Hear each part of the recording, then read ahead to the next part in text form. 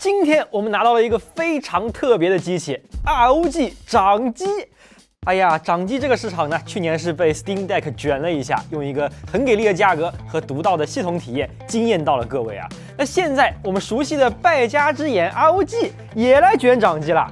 它搭载了 AMD 最新的 Zen Extreme 芯片，性能是很有看头啊。而且在外围硬件设计等方面呢，ROG 这一次也做了一些有趣的选择。想知道这台 ROG 掌机到底是什么样的表现吗？今天这期视频我们告诉你答案。既然是掌机，那自然是少不了小身板了。这个大概是 ROG 做过的最小的一台 PC 了啊，七英寸的屏幕，六百零八克的重量，甚至比 Steam Deck 还轻了六十克啊！啊虽然对于一台需要拿在手上玩的设备来说，这六百多克，哎呀，还是有点重的啊。但得益于握把的形状和防滑设计，它的握持手感其实还不错。ROG 掌机的整体结构和 Steam Deck 是类似的，但按键布局很不一样。它采用的是 Xbox 式的非对称布局，拇指还是比较容易接触到摇杆的啊。按键手感上面呢，它的 ABXY 键的行程比较长，回弹力度明显要比 Steam Deck 更大，感觉更接近 Xbox 手柄。那方向键倒是类似于 Steam Deck 吧，都是比较肉的那种感觉啊。肩键反馈干脆，霍尔扳机的行程很长，那这两个的手感都很不错，类似于 Xbox Series 手柄吧。那我觉得整体操作感受上呢，ROG 这台掌机确实要比 Steam Deck 更舒服一点。这个机器的摇杆并没有用上霍尔摇杆，那这两个摇杆呢也没有什么特别之处吧，除了底下的 RGB 圆环。哎呀，这可是 ROG 呀，怎么能少得了灯呢？是吧？这 RGB 可是能够提升百分之三十的性能的。那中间的这块七英寸的屏幕也是有点看头的，因为这是一块一零八零 P 一百二十赫兹的 LCD 屏，响应时间七毫秒。游戏能不能跑到一百二，我们另说啊。但是它至少呢是给了你这个高刷玩游戏的选择了嘛。屏幕素质上呢，这块屏的色彩表现姑且算是正常吧。百分之九十五的 sRGB 色域覆盖，色准平均加它一一点二二，蓝色有一点偏色，其他颜色似乎都还不错。好在这块屏在一个对掌机来说很重要的方面做的挺好的，就是它的峰值亮度可以超过五百二十尼特。对于掌机这种可能会带出去用的设备呢，屏幕亮一点总归是没有坏处的嘛。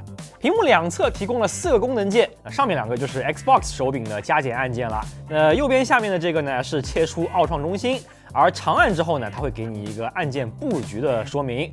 左边这个可以切出这台掌机的快捷菜单啊，不管是调亮度啊、切换性能预设呀，还是切换手柄和模拟键鼠啊，或者是开关 OSD 啊、实时锁帧、切换分辨率、刷新率啊，再或者开 RSR，也就是 AMD 驱动层面的 FSR 啊，这个菜单的功能还算是丰富的。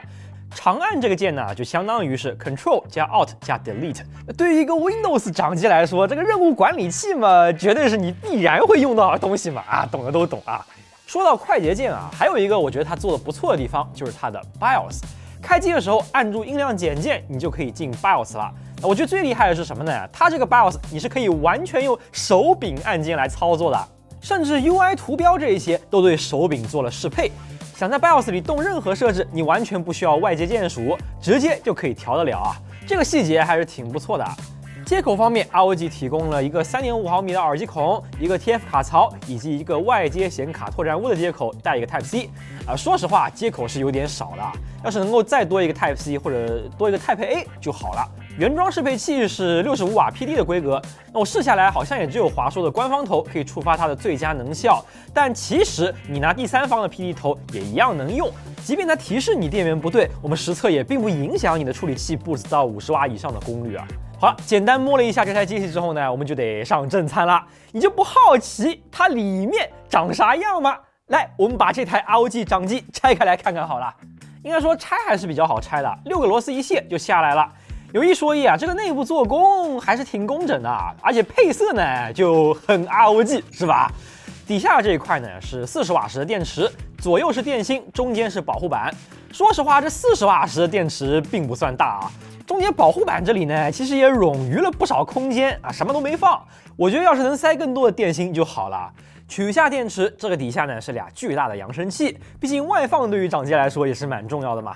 而两侧的手柄啊都有独立的子板和主板相分离，散热部分是一个双风扇单热管的设计。对于一台七英寸的掌机来说，这个散热算是挺豪华的了。咱们先开散热来看啊。左上角这一块呢是网卡，联发科的 MT 七九二二，而下面这一长串的散热贴底下藏着的就是十六 G LPDDR5 六千四内存了。主板上提供了一个二三零的 M.2 硬盘位，出厂只提供了五幺二 G 可选，想要更大的容量啊，你就只能自己换了。这台测试机用的固态呢是美光的二四零零，但 ROG 的人说上市之后会换成西数的 S N 七四零。而中间这一颗就是咱们今天的主角，AMD 新推出的 Ze Extreme 处理器啦。听着这个名字，是不是感觉很奇妙呢？难道这是专门定制的芯片吗？哎，那倒也不是啊。其实啊，这个 Z Extreme 呢，基本上就等于是七八四零 U 的掌机特化版。它的电压曲线啊略有不同，并且砍了 AI 单元。但除此之外，它的硬件规格就是七八四零 U。这颗芯片采用了台积电四纳米打造，面积一百八十五平方毫米，比 Steam Deck 上那一颗要大一些。那考虑到它的硬件规模，我觉得这个密度啊已经是非常非常高的了。CPU 部分用上了最新的 Zen 四架构，提供了八核十六线程的规格，单核 boost 频率最高可以到五点一 G 啊。Zen 四加四纳米工艺，这个 CPU 的能效很值得期待啊。另外一个让我比较关心的就是核显了，这颗 Zen Extreme 搭载了最新 RDNA 三架构的十二 CU 的核显，并且得益于四纳米的工艺啊，它的频率也是有所提升，可以 boost 到两点七 G 赫兹了。本来六八零 M 就已经是核显之王了，这一代又换架构又超频，能不能再更强一些呢？我还是挺期待它的游戏性能的。落实到具体的功耗档位上呢，这台掌机提供了三档可选：安静档下处理器长期功耗九瓦，性能档十五瓦，增强档不插电是二十五瓦，插电是三十瓦。短期 boost 还可以到更高，最高能够到五十三瓦，当然了，也就维持个几秒钟吧，然后就会降到四十多瓦，然后再坚持个大几分钟之后呢，降至三十瓦，长期功耗。它的这套散热，我们烤机半小时实测下来，压出三十瓦是没什么问题的。三十瓦下的温度啊，基本上也就维持在八十度出头吧。对于一个掌机来说，这个散热算是不错的了。和 Steam Deck 一样，它的 OSD 里也非常贴心的告知了从电池取电的实时功耗，也就是整机功耗。那我们很方便的就能算出各个档位下的游戏续航。那像安静模式的话，九瓦的处理器释放，整机功耗大概在十四瓦左右吧。那全程满载的情况下，游戏大概可以坚持三个小时不到。性能模式十五瓦释放下呢，整机功耗我们测下来大概在二十四瓦左右。那游戏差不多有一小时四十分钟左右的续航吧。那如果你增强模式二十五瓦全开的话，整机三十五瓦，那就只有一小时出头的续航了。我们在 Steam Deck 那期视频里就有聊到过这个问题啊。应该说这一类 PC 掌机要想在实用性上彻底赢过 Switch，续航仍然是最有待改善的一环。行了，我知道你们在期待一些什么，肯定是性能嘛，对吧？这颗 Ze Extreme 到底跑多快呢？咱们也别墨迹了，直接把测试搬上来吧。那么先来看看 CPU，Cinebench R23 的渲染测试，Z Extreme 单核跑出了一七八三分的成绩，相比 Zen 三架构频率更低的六九零零 HS，这个单核是强了百分之十六，提升还是挺大的。不过和英特尔那边的十三代大核比起来，AMD 的单核还是稍微差一点。而到了多核这里啊，Ze Extreme 的优势就完全发挥出来了。火力全开的情况下，最高一轮 R23 可以跑到平均四十四瓦的释放，多核跑出了一五二九三分，这甚至要比六九零零 HS 和幺三七零零 H 在五十五瓦下跑出来的成绩都要来得高了。这移动端 Zen 四确实还是挺给力的啊。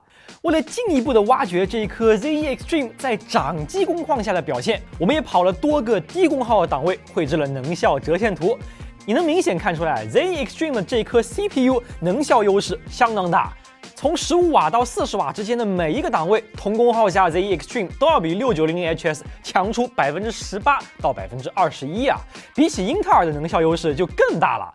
Z Extreme 甚至可以在二十瓦的功耗下跑出比幺三七零零 H 三十瓦还强的性能啊！这个 CPU 确实挺适合掌机的啊！而且这个 Z Extreme 还有一个优势，就是它的外围非常的节能啊！SOC 功耗或者说非核心功耗，很多时候都不到一瓦。作为对比，上一代已经很节能的六九零零 HS，静置的 SOC 功耗都要一点四瓦以上了。隔壁英特尔平台更是轻松超过三四瓦呀。Z Extreme 这个一瓦可能还是不如一些 ARM 平台吧，但是在 PC 里绝对是极为省电的了。不过作为一台游戏设备嘛，我其实更关心的是它的 GPU 部分。这颗 RDNA 三的新核显性能如何？我们跑个 Sunny Mark Time Spy 看看好了。哎，这个显卡成绩好像有点普通啊。Z Extreme 的 Time Spy 图形分大概是二八九二分，其实相比上一代的六八零 M 核显，并没有强太多啊。这个性能说的高大上一点呢，差不多相当于一张初代泰坦吧。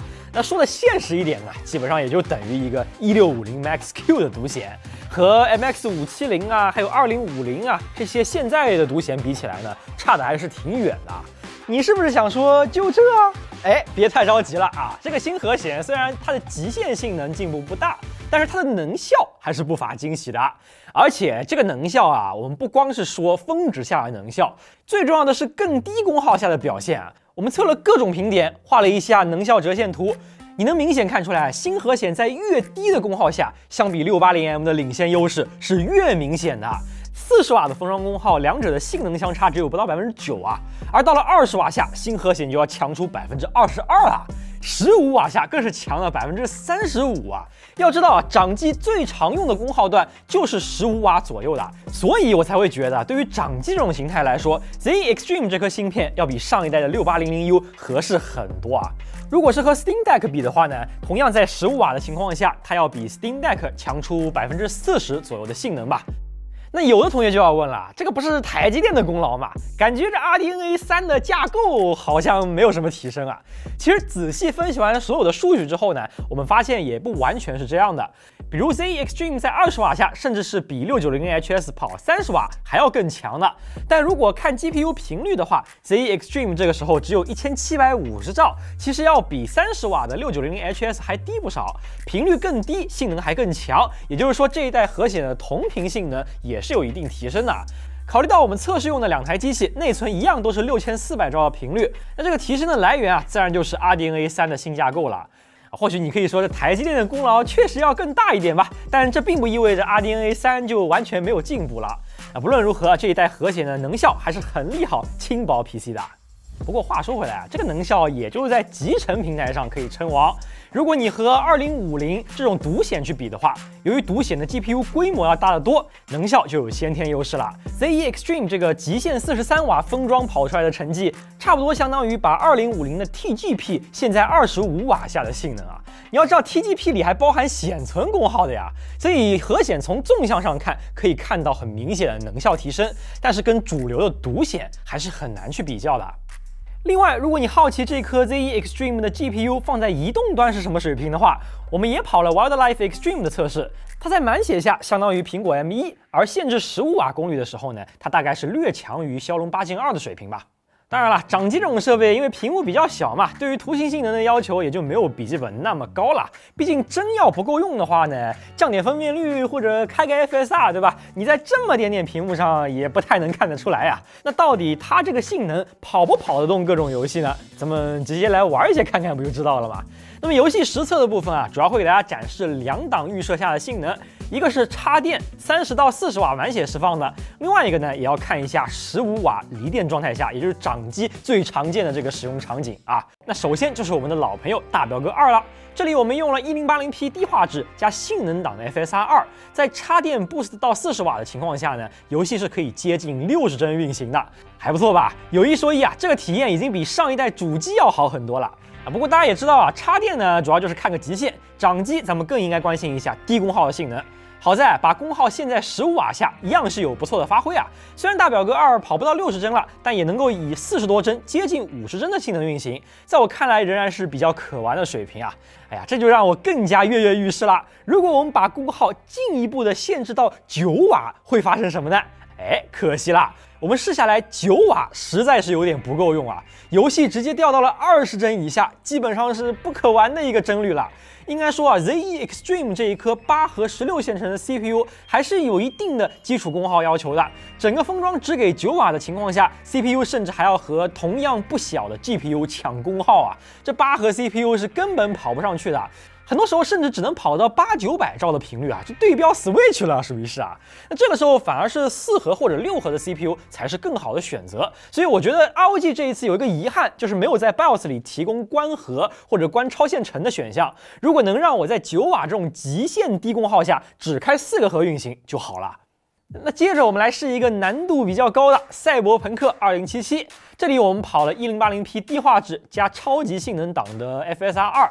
在三十瓦到四十瓦的功耗下呢，二零七七开车基本上可以跑到五十多帧，接近六十帧啊。开车已经是压力比较大的了，所以三十瓦的 ZE Extreme 差不多是可以流畅运行这个画质下的二零七七了。如果是离电十五瓦的话呢，帧数还是会降不少的。开车三十多帧吧，有的时候能够到四十帧。我们一直说二零七七很吃显卡，但是它对于这种便携设备的 CPU 要求也不低，所以十五瓦下还是出现了抢功耗的情况啊。当然，三四十帧的二零七七对于掌机来说已经是挺不错的了。要不我们再来玩一个新出的游戏好了，《生化危机》重置版。卡普空的游戏啊，优化向来还可以。不过，《生化危机四》在不同的场景下性能差别非常的大。如果是室内场景的话呢，我们一零八零 P 加帧率优先的 FSR，三十瓦下甚至能够跑到七八十帧啊，甚至更高啊，已经可以利用上这个高刷了。哪怕十五瓦功率，室内场景也可以跑到六十帧，流畅运行。要光看这些，你绝对会认为这是一个神优化的游戏啊！但室外场景就完全不一样了。三十瓦释放，刚刚我们能跑八十多帧，在室外就只能跑五十多帧了，性能低了一大截呀。限制到十五瓦下，则是跑到四十帧左右的帧率。不过有一说一，一个掌机能跑出这种表现也挺好了。还有一个很适合在这种设备上玩的游戏，就是《二等法环》了。去年我们在 Steam Deck 上玩《老头环》的时候，还在抱怨性能太弱了，开再低的画质也只能跑到三十帧出头啊。现在用 ROG 这台掌机玩就不用那么担心了。在没有 FSR 的情况下，开 720P 低画质，哪怕是压力非常大的这一段跑图，性能全开也可以跑到五十多帧啊。那我们也试了一下低功耗十五瓦的性能，其实也没有下降太多，一样是可以跑到四十多帧的。这个帧率不说很流畅吧，但玩反正是能玩了。我就希望老头环能加一个 FSR 二的支持，这样画质上就不用忍受直接降到 720P 的这种大果粒了。那我一开始关注这一类掌机的时候呢，就有一个美好的愿景，就是能随时随地体验主机大作。好在越来越多的 PS 游戏现在都开始登陆 PC 了。那我这里也试了一下战神，三十瓦档位跑 1080P 低画质加性能 FSR 二的话呢，大概能有五十多帧，接近六十帧吧，体验是相当流畅了。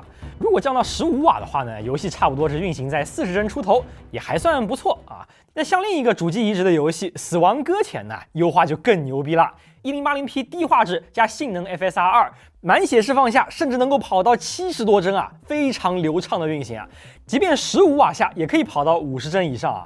应该说啊，你不仅可以在掌上体验到这些 PS 大作了，而且运行起来至少是比原版 PS 四要流畅的多了。试了这么多的单机，也该试一试在线游戏了。我跑了一下 FF 十四的 benchmark。三十瓦的释放下，跑到六十帧是完全没问题的，而且十五瓦的性能损失好像也不大，一样可以跑到五十多帧，接近六十帧。这一下出门在外也能随时随地上班了啊！另外呢，我也试了一下《原神》，不得不说，《原神》在这台掌机上面的表现是相当不错的。得益于 FSR 二的助力，我们在 1080P 中画质、零点六倍渲染下，满血释放，就连须弥城这种高压场景都能跑到七八十帧了。打本的时候，甚至能够跑到将近一百帧啊！这已经可以利用上这块高刷屏了。哪怕是限定在十五瓦下，我们在须弥城也一样可以跑到六十帧。副本可以跑到七十帧以上，算是非常流畅的水平了。既然跑了原神，那新出的崩坏星穹铁道干脆也来跑一下吧。啊，但是崩铁在 PC 端的性能啊，说实话是没有原神好的。其中一个问题啊，是它并没有提供像 FSR 二这样的优化工具。如果我们直接玩 1080P 的中画质，那在仙舟罗浮的这个星沙海中枢这种高压场景，我们就是满血释放也只能跑到四十多帧啊，十五瓦下甚至只能跑到三十多帧啊。要想流畅的玩下去，你就不得不降低渲染倍率了。那就像我前面说的，因为没有 FSR 二，这样直接去降渲染倍率的话，看起来会非常的糊啊。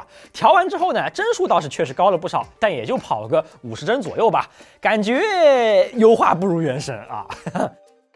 我们还设了几个模拟器，像 PS3 模拟器的话，不知道你们还记不记得，当时在 Steam Deck 上挑战的不是很成功啊。神海二只有个位数的帧率，那你们知道这台机器能跑出什么样的性能吗？同样的神海二，它居然能跑到四十多帧啊，甚至比 PS3 本机还要流畅了。应该说啊，PS3 模拟器这种 CPU 要求很高的场景，这颗八核 Zen 四确实够给力的。而且这里其实还利用到了一个你可能想不到的特性，就是 AVX 五幺二。我们一直说 AVX 五幺二没用。但恰恰在 PS3 模拟器里，它确实是有用的。